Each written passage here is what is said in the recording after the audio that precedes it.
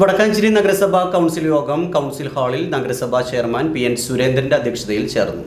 നമ്മുടെ നഗരസഭയിൽ വ്യവസായ വിപുലീകരണത്തിന്റെ ഭാഗമായിട്ടുള്ള പ്രവർത്തനങ്ങൾ സംഘടിപ്പിക്കാനും പ്രോജക്റ്റ് ഉണ്ടാക്കാനും വായ്പ കൊടുക്കാനും എല്ലാ സംവിധാനങ്ങൾക്കും വേണ്ടിയാണ്. അപ്പോൾ ആ കുട്ടി സംസാരിക്കും.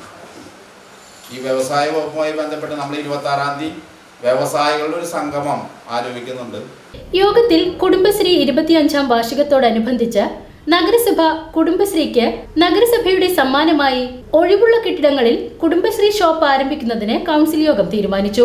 തെരുവ് കച്ചവടക്കാരെ കേന്ദ്ര നിയമപ്രകാരം പുനരധിവസിപ്പിക്കാൻ പ്രത്യേക വെൻഡിംഗ് സോണുകൾ തയ്യാറാക്കുന്നതിനും തീരുമാനമായി.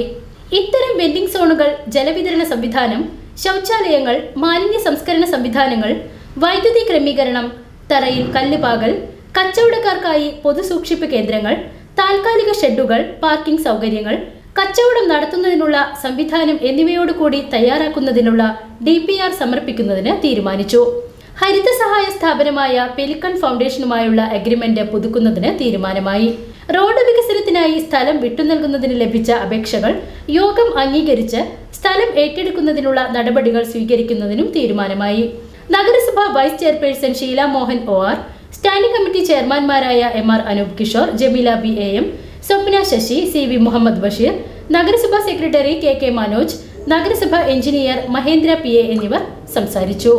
സംസ്ഥാനത്ത് വ്യാപകമാക്കുന്നതും അപ്പോൾ I B P M C വ്യാപകമാക്കുമ്പോൾ നമുക്ക് നമ്മുടെ സംവിധാനം കൊണ്ടുകൂടി വ്യാപിക്കാൻ കഴിയും അപ്പോൾ അതിന്റെ ഒരു പോരായ്മ അവിടെ വന്നിട്ടുണ്ട്. രണ്ടാമത്തെ കാര്യം സെക്രട്ടറി അവിടെ ആഴ്ചയിൽ ഒരു മൂന്നോ നാലോ ദിവസം പോകുന്നുണ്ട്.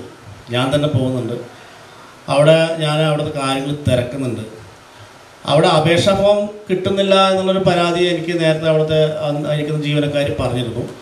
അപ്പോൾ അത് തിരക്കിയപ്പോൾ അപേക്ഷ ഫോം അങ്ങനെ സ്ഥിരമായിട്ട് ആളുകളൊന്നും വന്ന് ചോദിക്കുന്നില്ല. ആരെങ്കിലൊക്കെ ഇടയ്ക്ക് വന്ന് ചോദിക്കുന്നേ ഉള്ളൂ എന്നുള്ളതാണ്.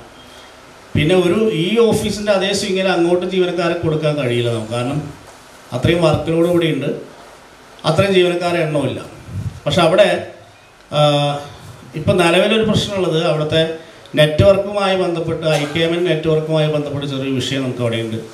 അതുകൊണ്ട് നമ്മളെ പ്രൊഫഷണൽ ടാക്സ് അവിടെ സ്വീകരിക്കണം എന്ന് വിചാരിച്ച് നോക്കിയപ്പോൾ അതിന്റെ ഒരു പ്രശ്നം ഉണ്ടായിരുന്നു. നമ്മൾ ഐ കെ എമ്മിന്റെ സ്റ്റേറ്റ് ഓഫീസിലേക്ക് റിപ്പോർട്ട് ചെയ്തിട്ടുണ്ട്. അത് പരിഹരിച്ചു കഴിഞ്ഞാൽ പ്രൊഫഷണൽ ടാക്സ് മുതൽ അവിടെ നമുക്ക് സ്വീകരിക്കാൻ കഴിയും. ഇപ്പം നിലവിൽ നഗരസഭയുടെ കളക്ഷൻ സെന്റർ മാത്രമായിട്ടാണ് അത് ഇരിക്കുന്നത്